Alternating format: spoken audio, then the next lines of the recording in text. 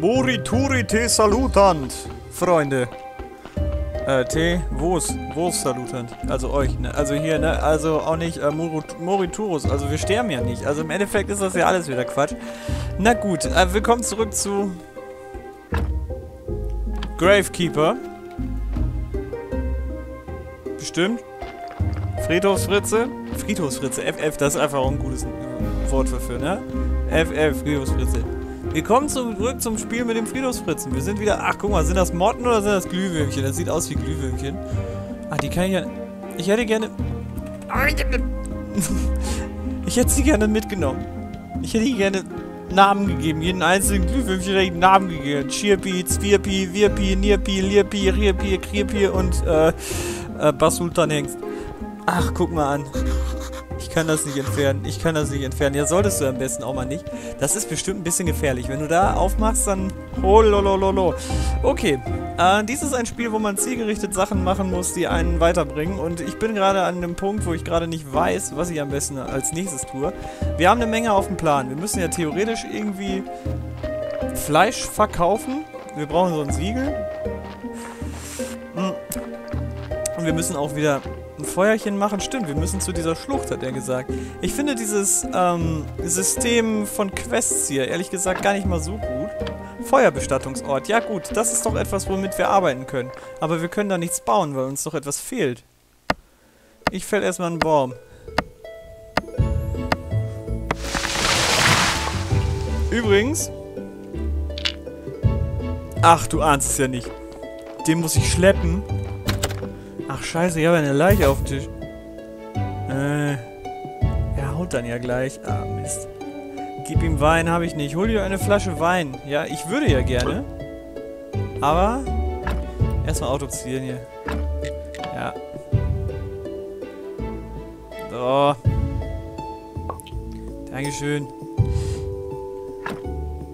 Nehmen wir die mal. Ich hau die einfach auch in den Fluss, ne? Weil der Inquisitor, ich habe gerade den, äh, ich habe gerade den Inquisitor gesehen. Er ist auf dem Weg in der Nähe. Er ist ganz in der Nähe, auf dem Weg zum Hexenhügel. Oh, halt, er will mich noch umbringen oder noch schlimmer. Beruhig dich, ich werde ihn ablenken.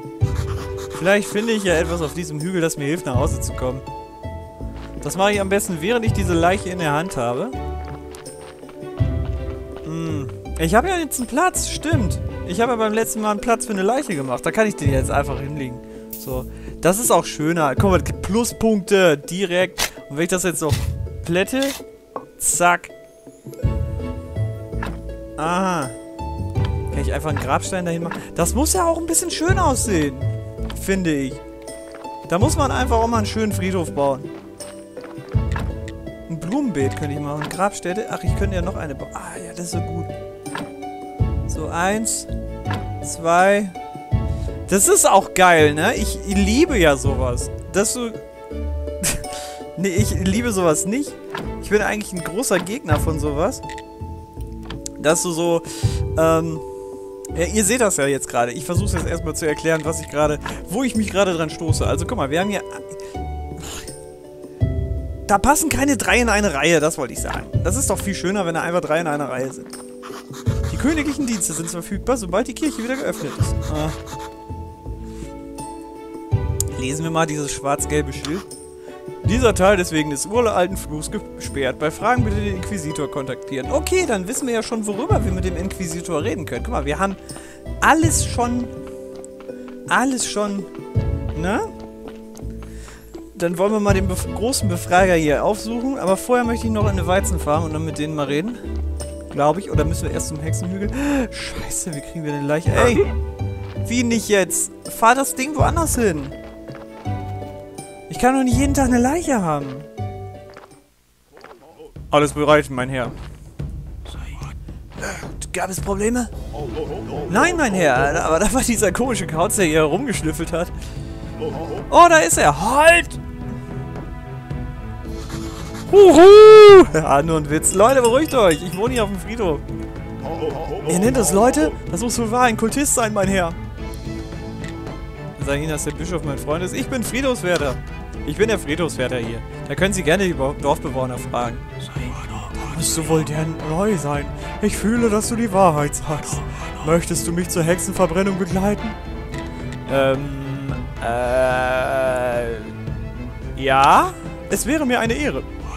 Also, wie bist du zu dieser interessanten Aufgabe gekommen? Äh, nun, ja, da ist einfach nichts passiert. Da gibt es auch nichts zu erzählen. Bin Friedhofswärter. Wie kommt man zu einem Beruf wie Friedhofswärter? Verheimlichst doch irgendwas. Ich werde es schon noch herausfinden. Wenn ich dem sage, dass ich aus einer anderen Welt bin, dann schmeißt er mich gleich mit auf den Haufen. Hier bin ich, der Großinquisitor. Ich schütze den wahren Glauben und die Menschheit. Das ist quasi der Endgegner, ne? Der hat auch schon so Endgegner-Vibes hier. Wir erleben gerade schwere Zeiten in der Stadt. Das Schiff der Toten ist bereits überfüllt und es steckt schon ein neues Schiff am Hafen fest.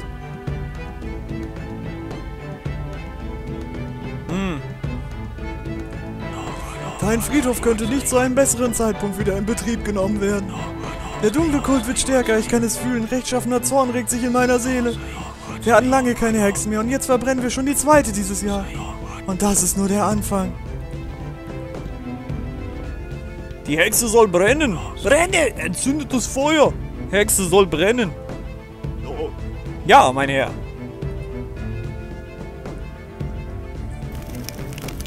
Lang lebe der Großinquisitor. Hurra! Hurra, hurra! Also, du hast wohl viel mit Leichen zu tun, nicht wahr? Ja, das gehört quasi zu meiner Arbeit. Und du lebst gleich neben diesem Hügel beim Friedhof, stimmt's? Ja. Interessant, interessant. Weißt du, ich brauche hier jemanden im Dorf, einen Freund. Ein Freund von mir ist ein Freund der Heiligen Inquisition.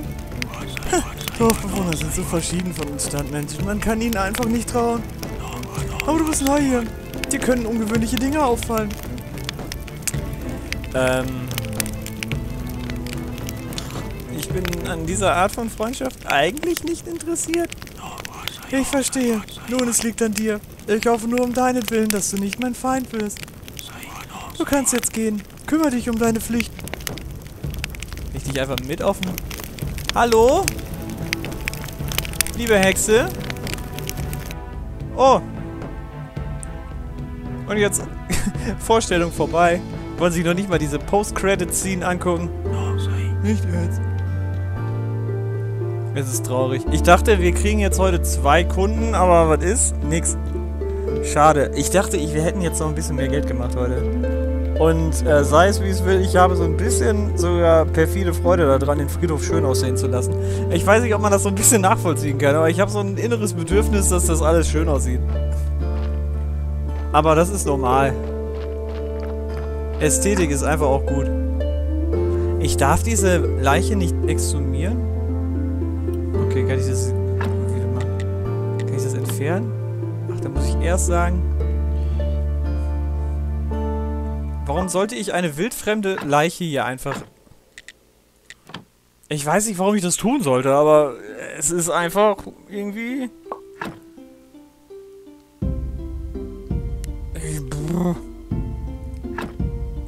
Ich habe keine Exhumierungserlaubnis, aber das behalten wir mal im Hinterkopf, dass hier was ist. Weil wenn's... Das ist so ein Videospielding. Wenn irgendwo woanders was ist, was man irgendwo mitnehmen kann und sei es ein toter Körper, dann ist das bestimmt irgendwie wichtig. Aber vielleicht äh, habe ich da auch äh, keine Ahnung und bin einem Trugschluss zum Opfer gefallen. Das weiß ich bisher noch nicht. Was positiv ist, ist, dass wir auf den Hexenhügel kommen. Das ist ja eigentlich auch schon mal nicht schlecht. Und nachts am Hexenhügel einfach mal zu bleiben und zu gucken, was so los ist, ist jetzt nicht unbedingt die schlechteste Idee, finde ich. Vielleicht ist hier ja noch was. Gucken wir mal auf die Karte. Äh, theoretisch geht es da oben links noch weiter, also wenn man der Karte glauben möchte. Ich habe da jetzt gerade keinen Weg gesehen, aber... Naja... Die sieht aus wie ein Portal.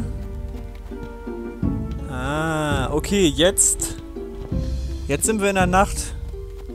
Ah, warte mal. Ne, wir behalten das mal im Hinterkopf. Ich gehe jetzt zum Leuchtturm. Weil wir ja am Montag, theoretisch, theoretisch, mit dem Leuchtturmwärter reden können. Und der Leuchtturmwärter, der kennt sich ja aus. Der ist ja ein Freund von diesem Meteorologen, ne? Meteorologen, Geologen, Kosmologen Ihr wisst, was ich meine. Mit dem Typen mit dem Fernrohr halt. Der immer in... Wie heißt das? Astrologe. Astrologe. Astronom? Astrologe? Hm. Ich weiß nicht. Also auf Antonia Landsdorf freue ich mich jetzt ehrlich gesagt nicht, aber vielleicht bringt er uns ja weiter. Die haben gesagt, das sei ein junger Kerl. Das macht die Sache ja noch ein bisschen würziger. Vielleicht ist er ja witzig drauf. Okay. Bin ich denn auf dem richtigen Weg noch? Ja. Vollkommen richtig. Die Zeit vergeht für meinen Geschmack ein wenig schnell. Allerdings nichts, worauf man, worüber man sich ärgern sollte hier an dieser Stelle. So, jetzt weiß ich nämlich nicht, ob ich jetzt richtig laufe. Ich glaube ja. Hier ist der Typ mit dem Honig. Das heißt, theoretisch, wenn ich jetzt hier an diesem Busch vorbeikommen sollte, haben wir hier den Leuchtturm. Und ich hoffe mal, dass es noch nicht zu spät ist, weil dann müssen wir sonst eine ganze Woche warten. Das ist ein bisschen doof, finde ich. Ach, du siehst aus, als wärst du wichtig. Hey, sie! Alter Astrologe, ja, der ist es doch. Hallo! Bist du der, bist du der Astrologe? Das war ich mal. Jetzt bin ich nur noch eine verlorene Seele in einer verwahrlosten Welt. Äh, ich bin der neue Friedhofswärter und ich brauche deine Hilfe. Jeder braucht irgendwas außer mir. Wissen mal einsam, junger Mann. Du wirkst wirklich ziemlich zufrieden. Deine trivialen Bedürfnisse bedeuten mir nichts. Äh, also kannst du mir nicht helfen? Mal sehen, du kümmerst dich um den Friedhof. Ja. Hey, Schnauze.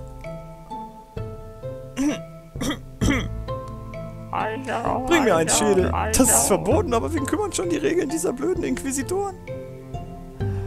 Oh. Den schwarzhaften Gary, das ist mein Freund irgendwie. Ich glaube nicht, dass es angemessen wäre.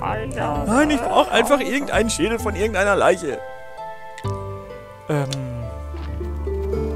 Na gut, das gestaltet sich jetzt an der Stelle ein bisschen schwierig, weil wir ja relativ weit laufen müssen und die Zeit nicht unser Freund ist in diesem Spiel. Denn, sagen wir mal ehrlich, wenn wir wieder hier sind, ist der nächste Tag vielleicht schon angebrochen. Aber glücklicherweise haben wir noch eine Leiche im Flur liegen. In der Hoffnung, dass das äh, jetzt auch geht. Nicht, dass wir ein Rezept dafür finden müssen, für jemandem den Kopf abzutrennen, weil das ist ja eher so eine, Spora äh, so eine Handlung, die jetzt meiner Meinung nach nicht unbedingt viel Vorwissen erfordert. Nimmst einfach einen riesen Beil und Attacke. Aber ist okay, vielleicht müssen wir das ja haben. Und wenn ja, wenn wir es haben müssen, dann wird sowieso noch eine Woche ins Land gehen. Weil ich keine Ahnung habe, wo wir das an der Stelle herkriegen sollen. Sollen wir mal eben mit dem Weizenfritzen reden? Hallo, Weizenboy! Ich bin nicht der Weizenboy. Hallo, die Mühle funktioniert nicht. Tut mir leid. Wenn du irgendwas gemahlen haben willst, musst du in die Stadt gehen. Das ist schade, aber ich habe nichts, was gemahlen werden muss. Ich lebe auf dem Friedhof. Friedhofssetter, schön dich zu treffen. Ich habe ein paar alte Reserven, die du vielleicht hilfreich finden könntest. Das ist cool. Ah, jetzt können wir da kochen. Das ist ja schon schön. Das macht Spaß. Können wir unseren richtig schönen Leichenburger braten hier. Yay. Darauf freuen wir uns so schon die ganze Zeit. Dieser Leichenburger macht einfach echt schmackhaft. Das verstehe ich aber auch nicht. Aber ich finde es irgendwie ganz süß, dass wir die anderen Tiere nicht essen dürfen, aber nur alles, was der Esel uns vor die Tür wirft. Ist meiner Meinung nach auch ganz witzig. Aber das bin vielleicht nur ich. Okay, wir haben hier eine 73-prozentige Leiche direkt vor der Haustür liegen. Dann nehmen wir die... Ach, Scheiße, ist schon wieder angegriffen. Puh, okay, hoffen wir mal, dass das geht. Autopsie. Na toll, wir können den Kopf nicht abtrennen. Das habe ich ja vorher schon gesagt. Scheiße. Ähm... Gib ihm Wein. Wo lernen wir denn jetzt den Kopf einer Leiche abzutrennen? Einen Tisch reparieren. Habe ich nicht schon da einen Leichenhallentisch? Ich nehme einfach mal das Stück Holz mit. Vielleicht ist das ja irgendwie zielführend. Diese Hobbithöhle, die, die verwirrt mich jedes Mal. So. Legen. Ach, dafür ist es. Das ist cool. Garten können wir nichts machen. Aber hier ist doch bestimmt was möglich. Ja. Wie kriege ich denn so einen Balken hin? Arbeitszimmer. Ist das mein Arbeitszimmer? Nee, das ist... Äh, da kann ich kochen. Ist hier unten mein Arbeitszimmer? Kiste! Nee, das ist mein Keller. Och, das ist alles so kompliziert. Sägen. Blaupause, Sägebock, herstellen Balken, herstellen Holzscheit. Ja, das wollte ich. Ist eine gute Idee. Äh, ja. Okay. Können wir jetzt machen. Die Frage ist, wo? Das muss man ja erstmal rausfinden und sich dann merken. Hier nicht. Ein Sägebock. Dafür brauchen wir noch ein so ein Holzding. Das ist in Ordnung, das können wir machen. Wir können uns sowieso davon verabschieden, dass wir heute noch den, den Kopf da abtrennen. Das wird einfach definitiv nicht passieren. Dann wollen wir mal einen Sägebock bauen hier. Da. Okay, dafür nehmen wir dann das Stück Holz, packen das drauf und los geht's. Hä? Wieso muss ich das... Ach so, ich muss es noch bauen. ja, das macht Sinn. Mm. Na gut. Dann nicht. Okay, dann gehen wir jetzt mal ins Bett. Warten mal, bis wir volle Energie haben. Und dann kann es hier wieder weitergehen.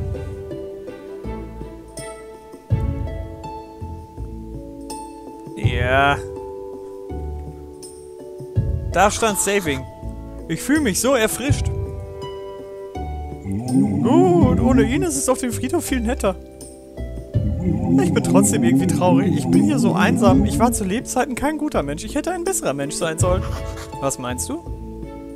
Wir sind tot, aber wir verdienen immer noch Respekt. Oh, fein, ich erkläre es dir. Jede Leiche beherbergt eine Seele, die von ihrem Leben gekennzeichnet ist. Sünden sind rot und gute Taten sind weiß. Wir finden jemanden in der Nachbarzelle. Wir, wir jemanden in der Nachbarzelle. Wir, wir auf jeden Fall jemanden in der Nachbarzelle. Und er erzählte uns, dass die Stadt einst mit einem schrecklich, schrecklichen Flug belegt wurde. Nur eine uralte Abmachung konnte diesen Fluch abwenden. Hat sich das irgendjemand nochmal durchgelesen hier? Ich bin mir nicht sicher, ob ich wirklich verstehe, wovon du da redest. Das tust du bestimmt nicht. Haha, kümmere dich lieber gut um den Friedhof. Ich werde dich beobachten. Ich kann nichts machen. Ich bin zu traurig. Tutorial Gräber. Jede Leiche hat zufällige bestimmte spirituelle Werte. Bla bla ist die Summe der Körperteilwerte. Du kannst bla bla ändern, indem du Organe entnimmst und einbalsamierst. Die einzige Möglichkeit, den Ruf deines Friedhofs zu erhöhen, ist, Gräber mit Gegenständen, die mehr Lorbeerkränze haben, zu dekorieren. Jede Reihe, die Totenschädel und Lorbeerkränze hat, zählt als ein Lorbeerkranz-Totenschädel. Rein mit roten Totenschädeln zählen nicht. Aber du musst sie mit Lorbeerkränzen füllen, um äh, Totenschädel reinzuhalten. Was? Ja, okay, das ist ja quasi wie so ein bisschen dieses äh, Bootleg-Tetris, das kriege ich schon hin. Aber ich habe jetzt erstmal keinen Bock auf sowas. Wir machen jetzt erstmal hier unseren Hof fertig beim nächsten Mal. Bis dann. Tschüss, tschüss.